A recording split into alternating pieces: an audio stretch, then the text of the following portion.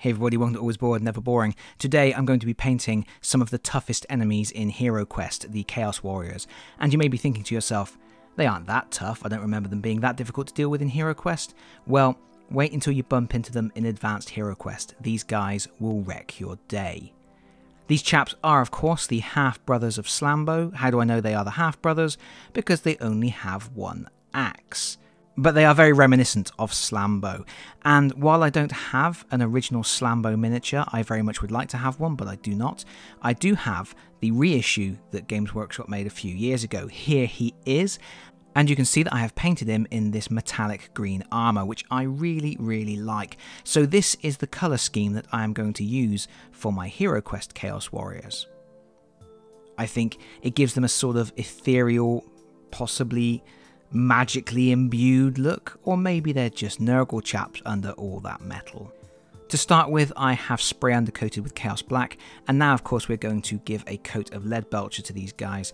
We are going to make sure we get a good covering of Lead Belcher, and that does mean two coats. And we don't need to be fussy at this point, we can pretty much cover everything. I'm using a big brush to get this done quickly. The boots and one of the gauntlets won't actually be metal, but it doesn't matter if the metal paint goes over it at this point, we can deal with that later on. So I'm just making sure I get into all of the cracks and creases of this armour. This miniature is quite bulky, but it has lots of little um, recesses that you need to make sure the paint gets into. We're going to use a lazy way of painting this green armour, and it does require a good solid coat of silver first.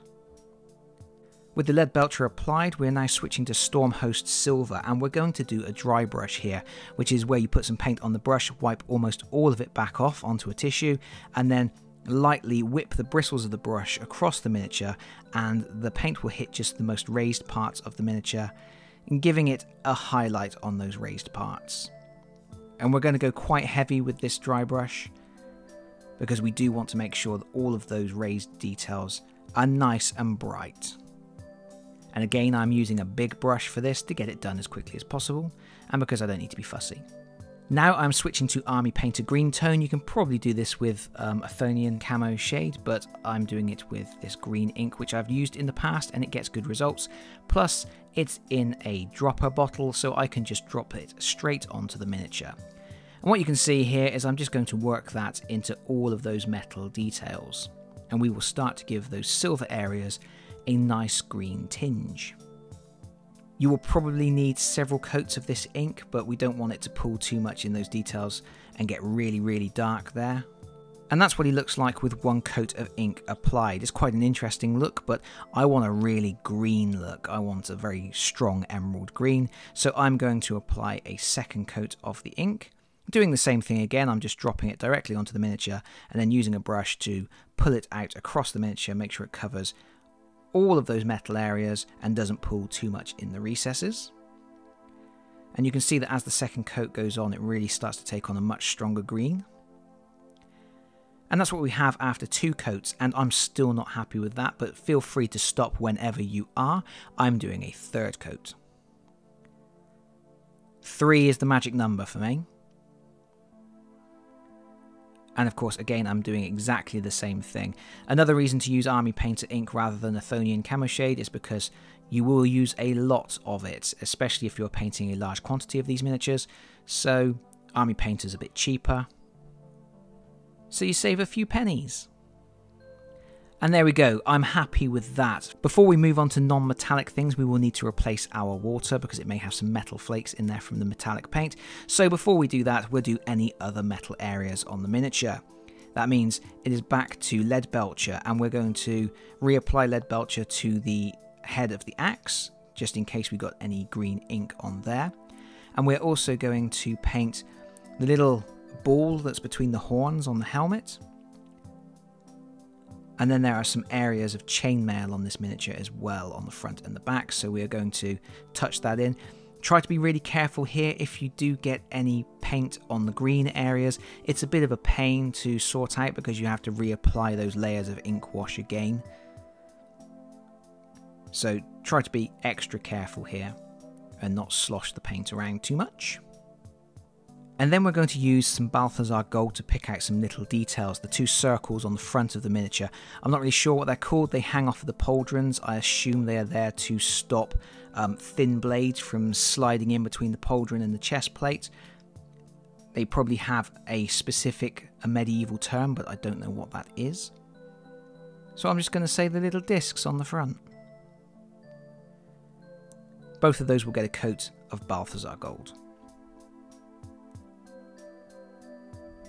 We're now getting out the Nuln Oil shade and we're going to apply this to all of the silver metal, all of the lead belcher. So that's the chainmail pieces, which will nicely bring out all of those chain link details. We're also going to apply Nuln Oil to the head of the axe. And that little ball on the top of the helmet. We're not going to put Nuln Oil on the gold areas, we will deal with that later using Agrax Earthshade Yes, of course, there will be Agrax Earthshade later. At this point we need to refresh our paint water because we're done with metallics and we're going to do the brown areas starting with Mournfang Brown. I'm going to use this on the boots, on the gauntlet and on the shaft of the axe.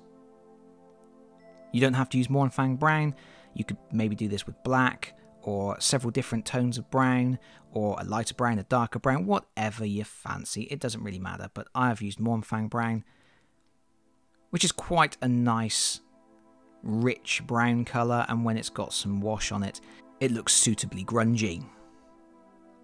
We're using Dawnstone as well, and we're going to put that on the wrap on the shaft of the axe to look like it's got like a leather strap on it.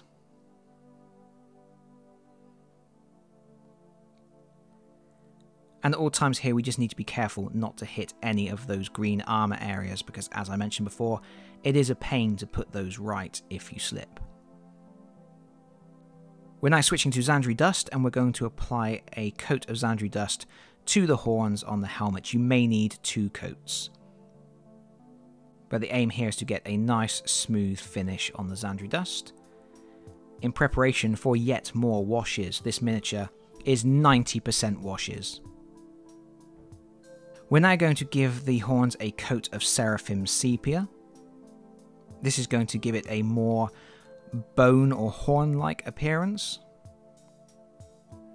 Obviously there's not really any details to bring out in the horn, but it just gives it a slightly different coloration which has a more natural appearance.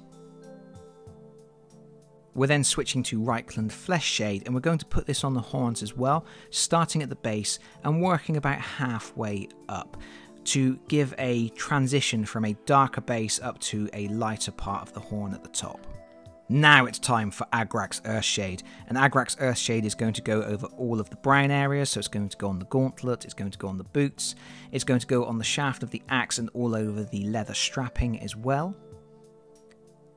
It's going to go over those little gold circles on the front of the armour to bring out the details in those and it is also going to be dabbed lightly around the base of the horns on the helmet just to give a final gradation of colour and help to blend it and transition into the actual metal of the helmet itself. And really these washes are doing most of the work for you here. And I think it's a pretty decent result for not a huge amount of effort. And in fact, I'm leaving it there. All that needs to be done, of course, is it will need to have the flagstone painting added to the base, which I have shown in another video, which you can find in my Hero Quest playlist. And then it will get a coat of varnish, and we are good to go. Another set of miniatures painted for my Hero Quest restoration project. I hope you've enjoyed the video. If you have, please consider pressing the like button. If you've really enjoyed it, please consider subscribing if you don't already do so. And hopefully, I'll see you all again very soon. Bye bye, everyone. Bye bye.